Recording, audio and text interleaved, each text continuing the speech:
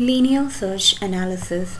So till now we have seen what is an algorithm, why analysis of algorithm is done, which are the three cases of analyzing the algorithm, the best case, worst case and average case. And finally in the last two videos we have seen which are the asymptotic notations used for analyzing the algorithm big O notation, big omega notation and big theta notation. Now let's discuss how to analyze the time complexity or running time of an algorithm in all the three cases the best case, worst case and average case using the concept of asymptotic notation with an example of linear search. So here is one algorithm for linear search. In linear search as we know, to search for an element in a particular array, we iterate from the beginning to the end of the array and compare each element with the element being searched. If the element is found, we will update the location which we had initialized as minus 1. Before each iteration, we will check whether the end of the array is reached or whether the location is updated. If either the case, we can exit the for loop and return the location. This is how linear search algorithm works. So as we know there are three cases of analyzing an algorithm the best case, worst case and average case. So first let's perform the best case analysis of linear search. That is, if n is the size of the input then what is the running time or the time complexity of linear search in its best case. So what is the best case? It is the case of the scenario in which the minimum number of operations are executed for an algorithm. That is, when some particular type of input is provided, the algorithm shows its best behavior. It is called the best case and the time complexity corresponding to it is called the best case time complexity of the algorithm. So, when do the best case occur for linear search? If the element being searched is present at the first position itself. Suppose this is the array that has to be searched and we are searching for the element 4 which is present at the first position itself. So by the first comparison itself, the search is successful. Hence, we need not compare the remaining elements and hence we need not go through the remaining iterations of the for loop. So in this case, minimum number of operations are executed for linear search and hence the algorithm shows its best performance. So let's find out which all are the operations executed for linear search in the best case. Integer location equals minus 1. This statement will be executed once. Then initialization. This statement is also executed once. Now condition will be checked here there are 1, 2 and 3 operations which will be executed once. Now here comparison, here there are 2 operations which is executed once. Then location is updated, so one operation. Then i is incremented, again one operation. Once more the condition will be checked. So here the three operations will be executed two times. That's all. The condition will be wrong hence we can exit the for loop. Then finally return location. So here one operation is executed. So if n is the size of the input what is f of n? The running time or time complexity of linear search algorithm in the best case for that which all are the operations? What is the total number of operations executed? 1 2 3 4 5 6 7 7 plus 6 it is 13 f of n is found to be a constant value which is 13 So suppose each operation takes 1 milliseconds to run then as a whole this algorithm will require 13 milliseconds to run whatever be the size of the array or whatever be the array provided as the input. In this best case always the time complexity or the running time of the algorithm will be a constant and if the running time or the time complexity of the algorithm is a constant if f is a constant then we can say that f is theta of 1 it means the time taken to run this algorithm is a constant irrespective of what is the value of n. So we know that f of n equals 13 which is theta of 1 it means we have found a function g of n equals 1 which is acting as both an upper bound and lower bound for this function. That is f of n is big O of 1 as well as f of n is big omega of 1 g of n is equal to 1 is acting both as an upper bound and the lower bound for the function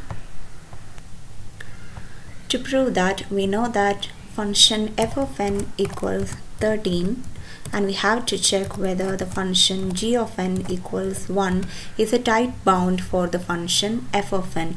For that n naught should be a value which is greater than or equal to 1.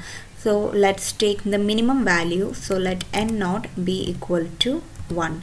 If n naught is equal to 1, we should find two constants c1 and C2 such that f of n is less than or equal to C1 into g of n for all values of n greater than or equal to n naught as well as f of n is greater than or equal to C2 into g of n for all values of n greater than or equal to n naught.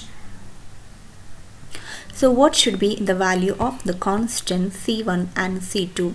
We know that N0 is equal to 1. Now, what should be the value of constant C1 here such that f of n equals 13 is less than C1 into g of n? We can take C1 is equal to 14. Then the condition will be satisfied. Also, what should be the value of the constant C2 here such that the 13 f of n equals 13 is greater than c2 into g of n. g of n is equal to 1. So what should be the value of constant c2?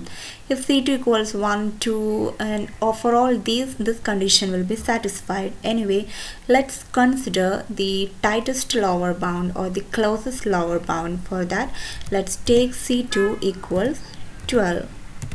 So if C2 equals 12, the 13 is greater than 12. So the condition is satisfied. Now check the graph. We can see that for all values of n which is greater than or equal to 1, the function f is less than the function c1 into g of n as well as the function f is greater than the function c2 into g of n.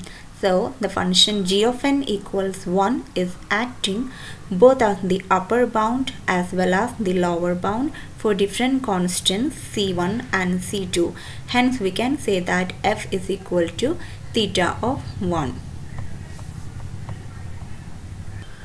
So what's the best case time complexity of linear search? It is theta of 1. Not only for f of n equals 13 for any algorithm if the time running time or the time complexity is a constant then the time complexity is represented as theta of 1. It means the algorithm takes a constant time to run irrespective of what is the value of n. Now let's consider the worst case analysis of linear search.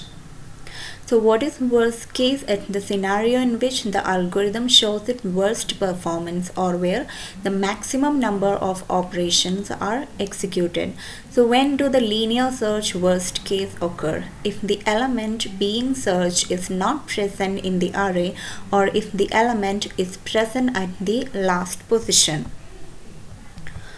So consider this case. Let this be the array that has to be searched. If we are searching for an element 5 which is not present in this array then we have to compare each and every element and we have to go through the entire iteration of the for loop. Even if we are searching for 9 which is present at the last position we have to compare each element. We have to go through the entire iteration of the for loop. That is the maximum number of operations will be executed and the algorithm shows in worst performance. So let's see in the worst case which all are the operations that will be executed and how many times. Integer location equals minus 1. This statement will be executed only once irrespective of how many times the for loop is executed. Again initialization this statement is also executed once. Now consider this statement. Here there are three operations. 1, 2 and 3 operation which will be executed n times. So 3 operations executed n times.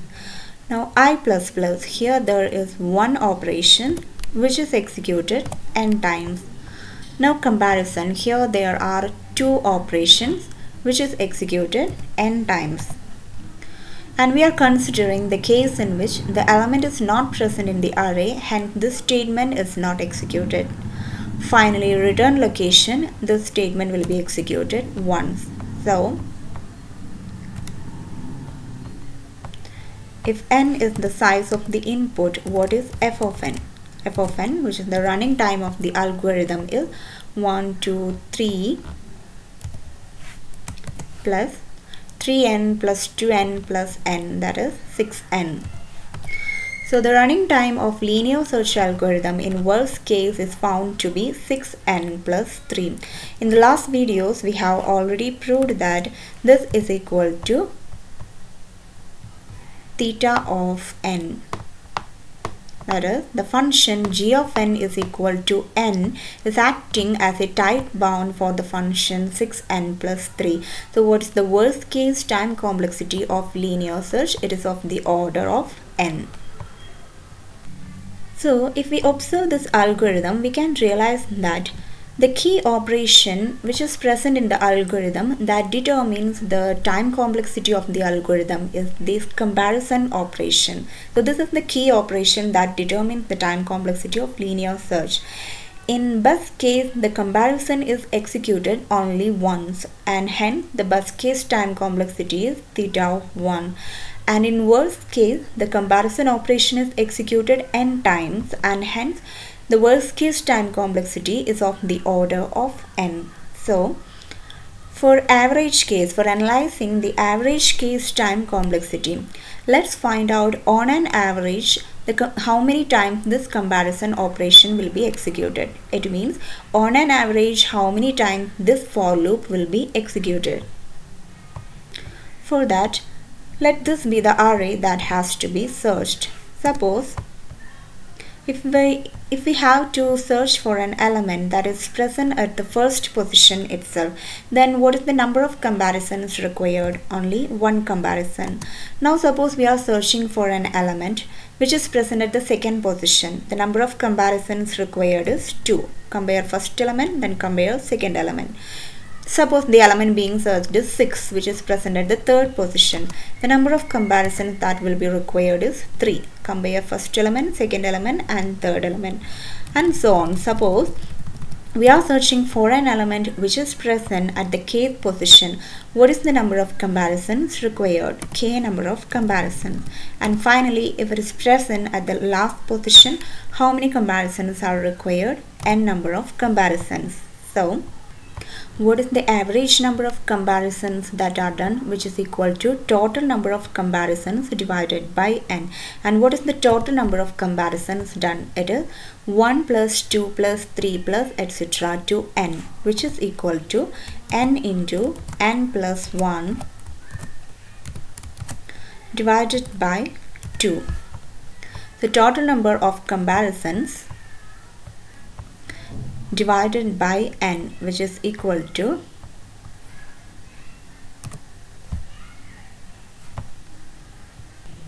n plus 1 divided by 2 if n is very large we can neglect this one. So we can say that it is of the order n by 2 hence the average case time complexity of linear search algorithm is theta of n by 2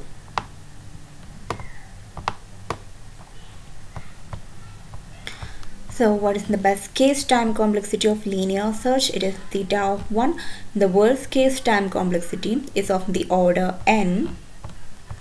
And the average case time complexity of linear search is of the order n by 2.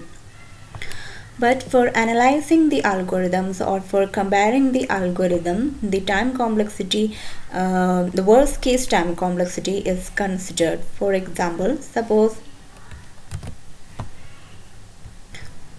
Suppose we have to compare two algorithms, algorithm 1 and algorithm 2. What we'll do is we'll find out the worst case time complexity of both the algorithms and then we will compare the worst case time complexity of both the algorithm. Then which algorithm is performing better is considered to be the best algorithm.